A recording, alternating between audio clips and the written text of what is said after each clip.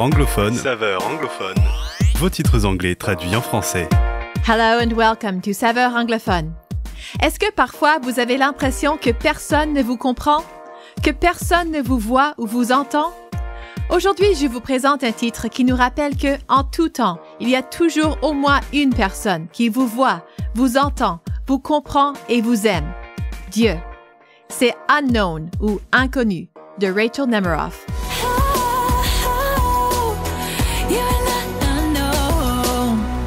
La phrase clé du titre est Tu te sens peut-être tout seul, mais tu n'es pas inconnu. Dans le premier couplet, l'artiste nous dépeint l'image de quelqu'un qui ressemble probablement à beaucoup d'entre nous à un moment ou un autre dans notre vie. Elle se cache dans sa chambre, pleurant parce qu'elle se sent seule. Personne n'a jamais vécu ce qu'elle est en train de vivre. Dans le deuxième couplet, elle décrit ce qu'on peut ressentir dans de tels moments. Tous les secrets restés cachés, toute la peur que tu ressens, toutes les paroles qui te blessent. Parfois la honte est incroyable. Il n'arrête pas d'essayer de te définir, mais ce n'est pas qui tu es.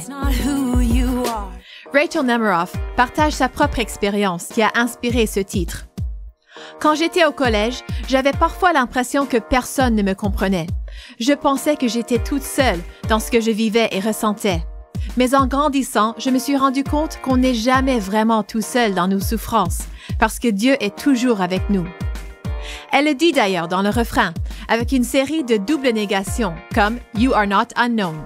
Des phrases commençant par Tu n'es pas, suivies d'adjectifs commençant par le préfixe anglais un, qui signifie aussi pas, comme unknown, qui signifie pas connu. Donc, tu n'es pas pas connu. Vous me suivez? Écoutez bien le refrain. Dieu est plus proche que tu penses. Si seulement ton cœur pouvait l'entendre qui dit Tu n'es pas non vu. Tu ne disparais pas. Tes prières ne sont pas non entendues. Ton Père écoute. Tu es une histoire encore non racontée.